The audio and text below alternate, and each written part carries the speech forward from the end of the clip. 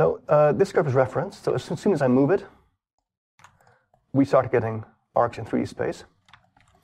And I can even move it in different amounts in different places. So now we have really, really quite complicated arcs here in 3D space. Uh,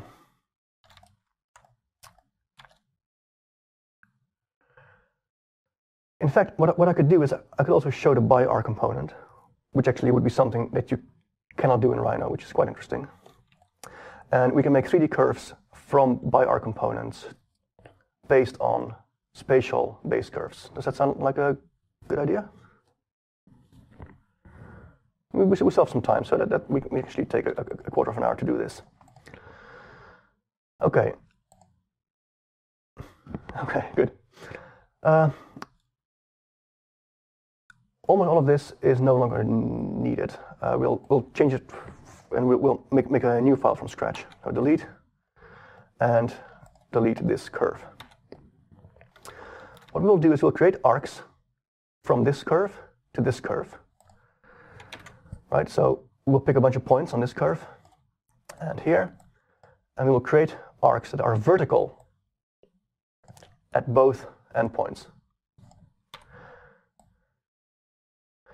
And as long as these two, two curves are planar in the same plane, that'll work fine for one arc because an arc is then always half a circle and it's always vertical at the endpoints. But as soon as these two curves start to move in 3D, this constraint is no longer possible to enforce on single arc segments. But we can do it on a bi-arc.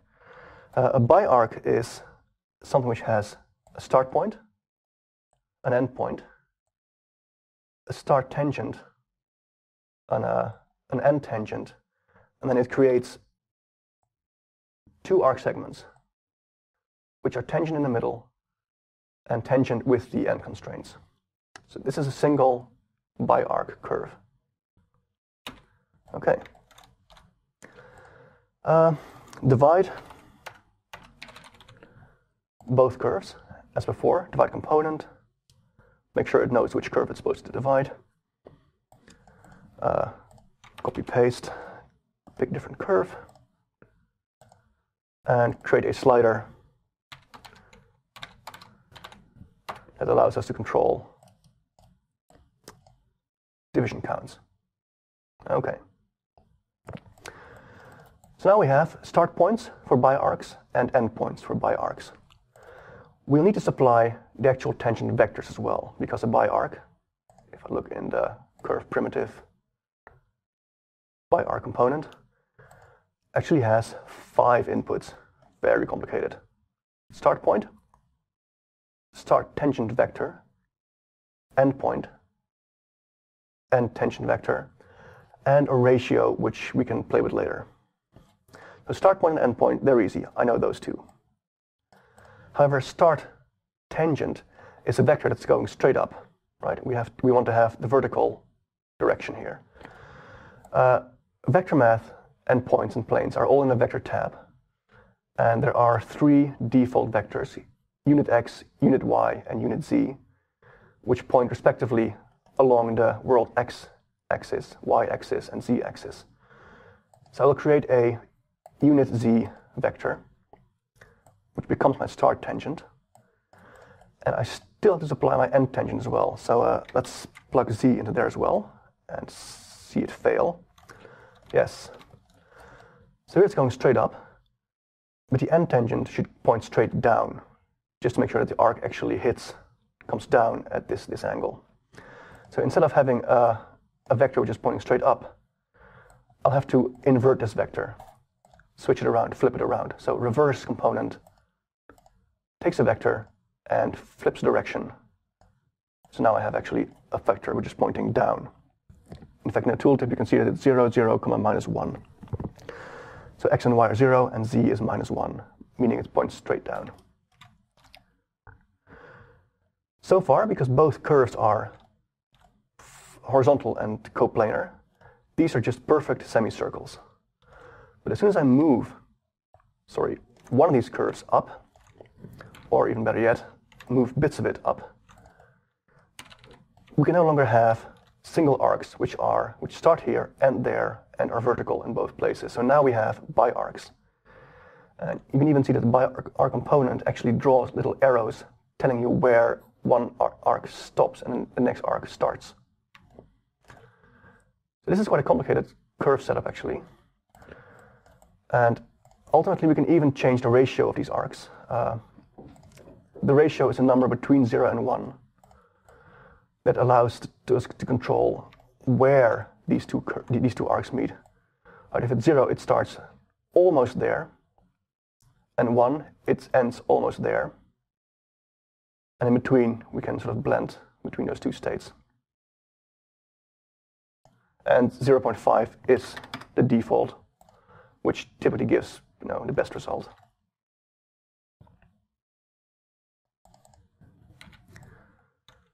So that's your bi-arcs.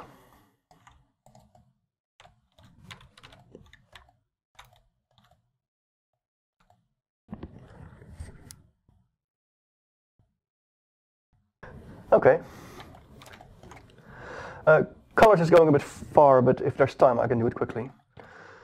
Uh, the bi-arc component outputs three values. It outputs the first arc as an actual arc segment, the second arc, and the curve which joins those both, both those arcs. So for example, we could decide to loft all of those arcs from here to the end, right? So loft allows you to create from a bunch of curved sections. Actually, this, this is sort of interesting because a loft operates not, not on one number or, or one value, but on a list of values. Right? When you loft something, you have to supply at least two curves. So this input here actually has curves as list written in it, which means that it, will operate on a whole list of curves in one go. Uh, the O are loft options, which are which you can change through the menu as well if it's closed or blah blah blah, like normal, loose, tight, that stuff. So all our arcs, and now we have one lofted surface here, and we can also loft the surface to the second arcs, and we have two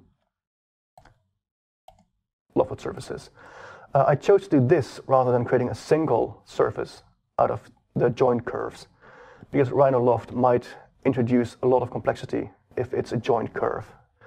Uh, it might not, it might, it, I I'm never sure until I try. So if I, if I hide these two, yeah, you can see that actually there's lots of, of uh, outer curves here. So th this surface is, is a lot more complicated than these two surfaces work together. That's one surface, other surface. And I can join those, of course, into a, a single poly surface. I can uh, run a, a uh, brep join. Instantly, the word brep in Grasshopper is the same as a trimmed surface or a poly surface.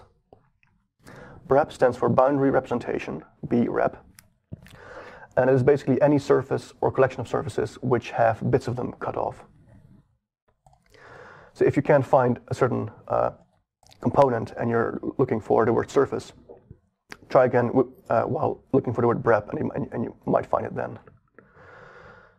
So I can take this one surface and hold shift to make sure that they both flow in there. Uh, I can hide these again because now I've got double stuff going on. And now I have one brep, which is open, right? It has one, it has holes everywhere, here at the bottom but it is one brep consisting of two surfaces.